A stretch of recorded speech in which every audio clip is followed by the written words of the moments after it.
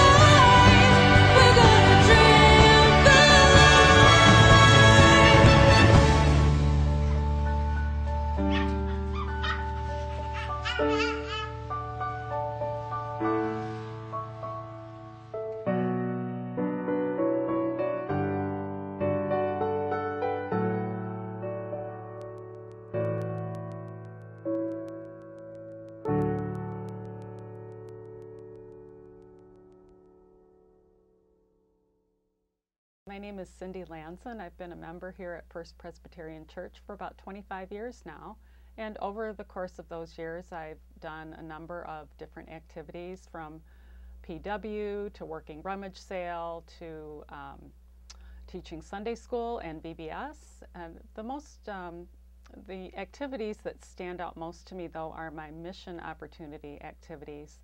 The uh, most recent trip that I went on was the Mexico mission medical mission trip, which uh, took place this past March.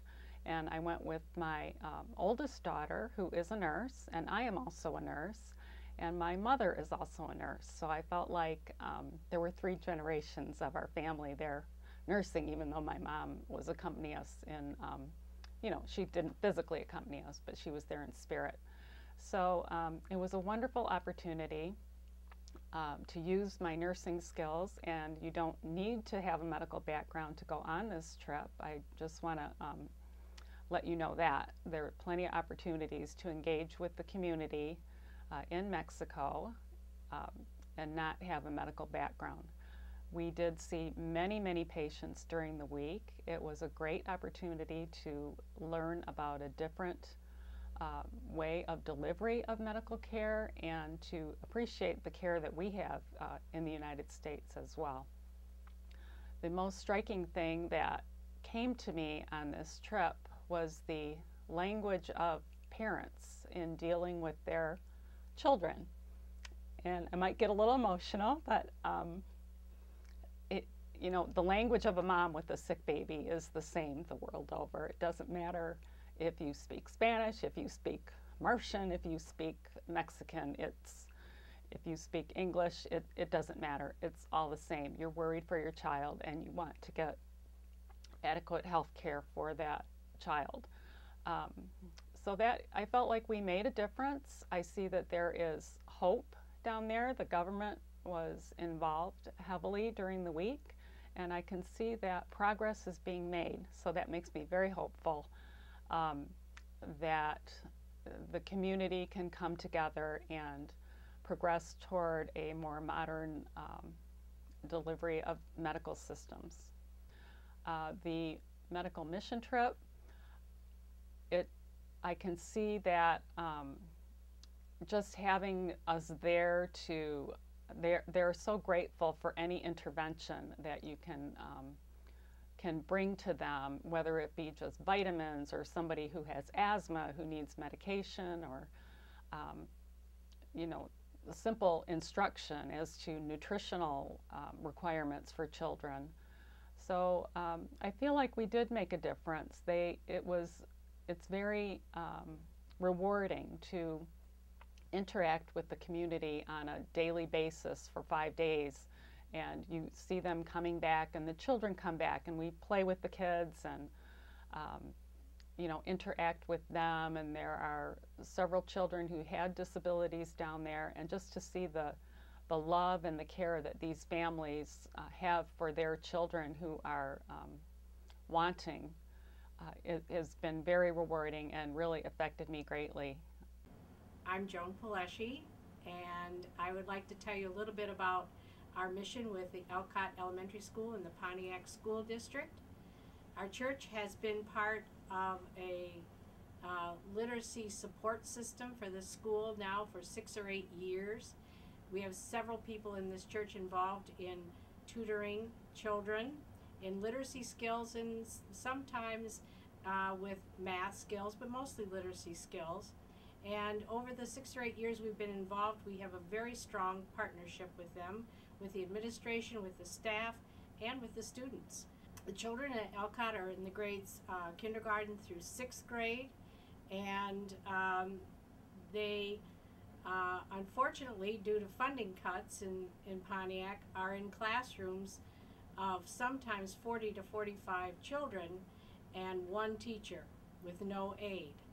So any amount of help or support we can give is very much appreciated. Uh, this year, the, the class sizes have been huge. There are 44 children in the kindergarten and no aid. Uh, so the tutoring that we do and, and is a support to the teacher and to the children. Um, working with the children at Alcott has really filled a need for me. I taught school for many years in the Troy School District, and when I left, a little piece of my soul was kind of empty. So the uh, when the option to uh, tutor at Alcott came along, I was eager to volunteer, and it has been very rewarding. Um, you are the children become uh, very attached to you, even the children in the classroom with uh, who, with whom you aren't working. Um, and you become a very important part of their experience. Um, and also, needless to say, the teacher is an important part of this also. The teacher is somewhat, at times, overwhelmed by the sheer numbers of children in the classroom, so she certainly appreciates the support of any adult who can help her out. Um, if I'm not there some weeks, uh, the children will say to me, Where were you? Where were you? You know, they come to depend on seeing me on a, weekly basis. Um, I would also like to tell you that the children of Alcott are charming and they could be challenging at times. But most of all, they need you and they need your care and your mentoring. We do make a difference. Uh, I am Mark Jevaharian, and I participated in the Mexico construction mission uh, in June of 2013. And um, I went on the trip with approximately 24 people. Uh, three of them were my children, which is probably the first reason I went on the mission. Um, uh, my kids have gone for a, um, a couple of years, and um, I, they really actively wanted me to go with them. And um, actually, I wanted to go with them. It was uh, um, an opportunity to enjoy my children in a different way. We flew down as a group, and uh, um, even the, the transportation events were quite interesting and fun. Uh, you know, we were with a, a diverse group of people. They were um, anywhere from 14 years old and probably, well, I'm 51. I'm not going to speak for other people's ages. Uh, but it, we were a, a interesting and diverse group, and uh, I think it's probably always that way when they go on these missions. The community was um, um, mostly a, a Mayan Indian descent.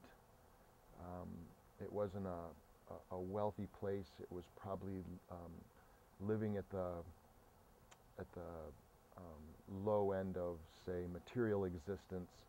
Um, many of the homes were, were very sparse. Um, I would say many homes didn't even have doors. Um, uh, sometimes you could see through them. They were uh, often um, of, a, of the nature of a hut, but um, there also was not any extravagant wealth in the area, so uh, it was a happy community, and um, I don't think anybody was really wanting for anything. Um, our mission down there was to participate in the construction of a, a school. Um, uh, apparently, the the largest, uh, the highest level of education available to the community was a ninth, e- equivalent ninth grade education, and so we were building a high school uh, for the community. Uh, the construction of the project is a, kind of a work in process. When we got there, uh, there was a, a certain amount of construction done. Um, certain groundwork had been laid. Maybe the first, the first level of this uh, the school was built, and we were actually working on the second level of the school, and it was it was construction and iron. Uh, it was concrete and iron construction. Really, the highlight of the trip for me there was um, you know, engaging in the construction project with the diversity of people um, uh, and getting them um, working together and watching them work together and being part of the team working together and um, um really harmoniously doing things we've probably never done before. And uh, um, so, you know, we assembled steel, we cut steel, we twisted steel, we bent steel. None of us had ever done this before and with a little bit of instruction from some knowing people, uh, we were able to um, get it done. Um, so um, it's a very worthwhile uh, mission, uh, seriously, you know, to install a school which, you know, once the catalyst of that school gets moving, is going to continue for, we hope, many, many years to educate a lot of people um, and uh, advance, you know, advance their community. My name is Maureen McKay, and I participate in a number of activities here at First Presbyterian. I'm an usher and a liturgist at the 8:30 service, and I'm also a member of the Communities Connect ministry and also the All Abilities Inclusion ministry on Sunday mornings. I love participating in these activities because our vision as a church community is to cultivate uh, mission, inclusion, and community. And I feel that by being involved in the Communities Connect ministry, as well as the All Abilities Inclusion ministry, it really helps me to participate in growing the vision of First Presbyterian Church of Birmingham. So, in the All Abilities Inclusion ministry, another great ministry to be a part of, I really enjoy um, getting to know the kids who are part of the group that we help through the All Abilities Inclusion ministry, as well as their families. And what I hope we make an impact with is to give them some time every Sunday and probably throughout the week where they can know and enjoy a safe place to learn about God, to feel accepted and included as part of our community and as part of our ministry. And I really learn a lot from them every week. It's just it's such a joy to be able to give back to them and to have them teach me along the way about their world and, and the things that they see and, and how they see it. So I'm a member of the Communities Connect ministry, and one of the things that I really enjoy about being a member of that ministry is it allows us to really act out our vision of cultivating mission, inclusion, and community. Um, as a gay member of the church, I can tell you that I have, in, in the past, felt really excluded from a number of churches. And First Presbyterian Church is the first church that really included me and welcomed me with open arms. By being a member of this ministry, I really feel that we're taking action, and actions really do speak louder than words. And by reaching out to members in the community that might be slightly different from us, that might be um, not what we're comfortable with or not what we're used to, I really think that it's allowing us to broaden our perspectives and to reach out to people who want to be heard and want to be part of a community and have a lot to offer um, based on their experiences and their backgrounds. I'm Tom Kirchhoffer, and uh, I am on the uh, Communities Connect ministry. The three things that Communities Connect Ministries deals with is uh, meetings with interfaith, uh, Muslim, Jewish, and Christian uh, organizations. We sometimes uh, get together to find out uh, how they deal with death, how they deal with youth. Uh, we deal with issues like human trafficking, as well as we deal with the LGBT issues and try to make people who are gay uh, welcome in our church. Uh, one thing that uh, our church did when the Muslims were being confronted by some of the uh, conservative fundamentalist people, uh, our church sent a number of people to protest against those people who were picketing uh, the Muslim uh, people. The second issue is uh, we also, do, if there are uh, social issues that we need to confront, our committee deals with, with that aspect. And uh, we just had a symposium a couple weeks ago on trafficking, human trafficking, and that brought 75 people to this church uh, for the symposium as well as well as a uh, chili dinner. We uh, one of the uh, most enjoyable things that we did was to go down to Hart Plaza, downtown Detroit, uh, to the Gay Pride uh, festivities in June we gave out a little brochure telling a, a, story about our church, and we also gave out 1,000 bottles of uh, water, and it said that uh, uh, Christ does not have favorites. What I like about the committee, the ministry that I'm working with, is that I, we reach out and we uh, have meetings uh, uh, with interfaith organizations. Uh, we're connected with Michigan Roundtable, and I go to some of the meetings representing my committee uh, at at uh, places where LGBT issues are being discussed.